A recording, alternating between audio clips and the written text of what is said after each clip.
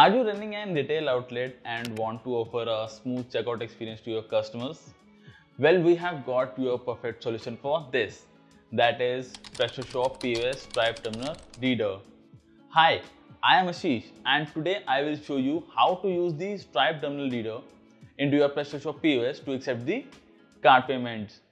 In order to do so, you need to install the POS Stripe Terminal Reader into your PrestaShop. With this extension, the sales agents can make the payments by connecting the Stripe payment gateway with the card swipe machine. After processing the payment, the sales agent can generate an invoice. Now let's understand the workflow of the module. But before proceeding further, I would like you to subscribe to our channel and press the bell icon to receive the latest updates from our end. First of all, I will explain you how to connect the Stripe terminal reader to POS. On the POS panel, a sales agent needs to click on the Stripe button to search for the available Stripe readers.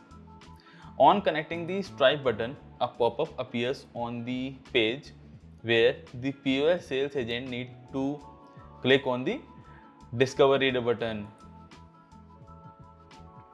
here, the sales agent can view the available POS Stripe reader and select it.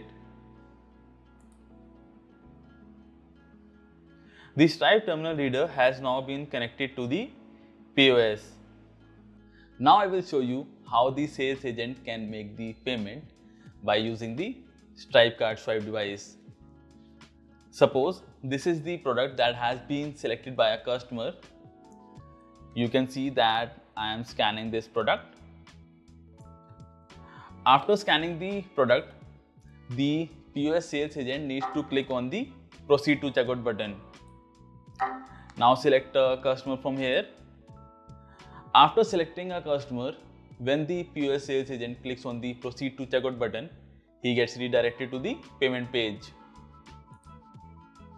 On the payment page, the sales agent needs to select the Stripe POS payment option. Once the payment process has been initiated, the sales agent needs to swipe the card over the machine. You can see here that I am tapping this card over the machine.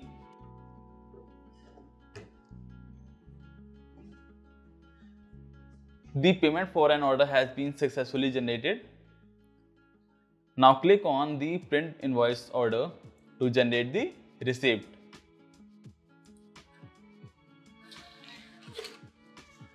Now this is the receipt that has been generated. So this was all about the functionality of PrestaShop POS Stripe Terminal Reader.